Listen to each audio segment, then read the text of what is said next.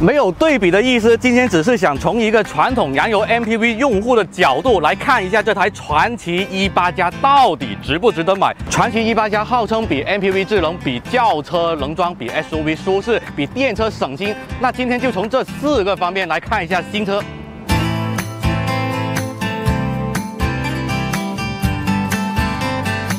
首先，比 MPV 智能，这点我承认，我的荣威 IMAX 八中控屏尺寸小就不说了，而且斑马智行车机系统真的是一言难尽，反应速度不算快，而且功能也不算丰富。智能座舱方面，传祺 E 八加给你安排了十四点六英寸高清中控屏，配合 Adigo 五点零智能车机系统，UI 界面清新干净，人机交互自然流畅。高德导航动态显示，我觉得这个功能还是挺好用的，但我的荣威 IMAX 八并没有，传祺 E 八。有了，而传祺 E 八还具备了四音区的语音控制系统。我的荣威 iMax 八是前中后三排都能语音控制。另外，荣威 iMax 八中控台整体设计风格好听是传统，不好听就是老气横秋。相比之下，传祺 E 八加会多一份时尚感和家庭温馨感。最后，传祺 E 八加采用了时下流行固定式的中控地台，看上去会更加的规整，更加的高档。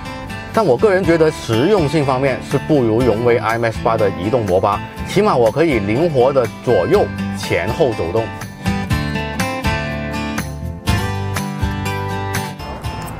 接着，比轿车能装就是空间问题了嘛。传祺 E 八加可以说是尽得本田奥德赛的真传，你看这第三排的翻折钓鱼凳就知道了，空间的灵活性肯定是毋庸置疑的。但有三个矛盾点想跟大家去探讨一下。第一个矛盾点是座椅和空间感，荣威 mx 八的座椅很厚实，坐得很舒服，但视觉上的空间感一般。而传祺 E 八加的座椅造型也是很有日系的风格，显得车内的空间非常的宽敞。第二个矛盾点，档次和实用性。一体式的航空座椅看着显档次，而且还舒服，但是活动式扶手的座椅会更加的实用，尤其是家庭用户，你抱着孩子上下车，以及是进出第三排，这样的扶手会更加的方便。第三个矛盾点是实用和安全性，好像我们这种二胎家庭，老大一般会放在第二排，老二会安排在第三排，这就涉及到了被动安全问题了，尤其是被追尾的情况之下。我当时之所以选择荣威 IMAX 八，是因为它是首款中保研六项安全碰撞测试的全优车型。至于传祺 E 八加，我不知道，至少我没有找到权威碰撞测试的成绩。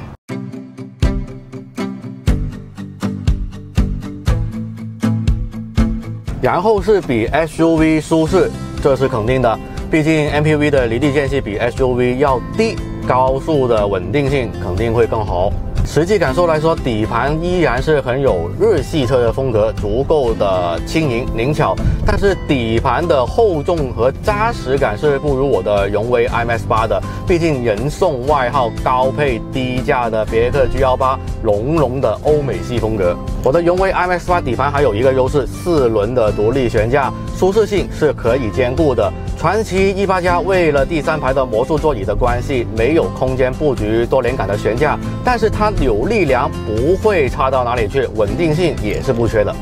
传祺 E 八加好歹是新能源汽车，它有着电驱的输出特性，就是足够的畅快，没有开大车的那种笨重感，特别适合在城市里面去使用。而我的荣威 M S 八传统的燃油动力吧，优势是在高速上面后劲会更足，而且还省油。传祺 E 八加 CLT 7纯电续航是可以去到一百五十公里的，但是我对于插混车型的纯电续航并不是特别的关心，因为作为一台 MPV 肯定要跑长途的，对于一千公里、两千公里、三千公里的行程来说，这一百多公里的纯电续航压根就不重要。那它的电池对于我来说，只需要它在怠速的时候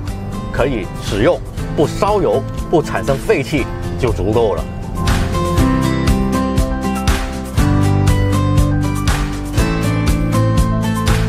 最后，比电车省心这一点，我是非常的认同的。插混家用 MPV 肯定会成为主流，因为传统燃油的 MPV 以及是油混的 MPV，它有很多使用场景是满足不了的。尤其是如果你要在车上将就一晚的时候，费油就不说了，而且容易尾气中毒，一个万一就嗝屁了。而传祺 E 八加它是插混，它有纯电的模式，就没有这方面的问题。同时，我向来都认为纯电和 MPV 是不搭的，毕竟 MPV 肯定是离不开长途奔袭的需求。回到开场的那个问题，传祺一八加到底值不值得买呢？答案是你没有比它更好的选择，因为二十万级别的插混 MPV 本来可选的产品就不多，东风风行星海 V9 它的做工用料还是差点意思，而瑞风 RF 八以及是大通大加七，货运气息还是浓了点，所以最后只剩传祺一八加了。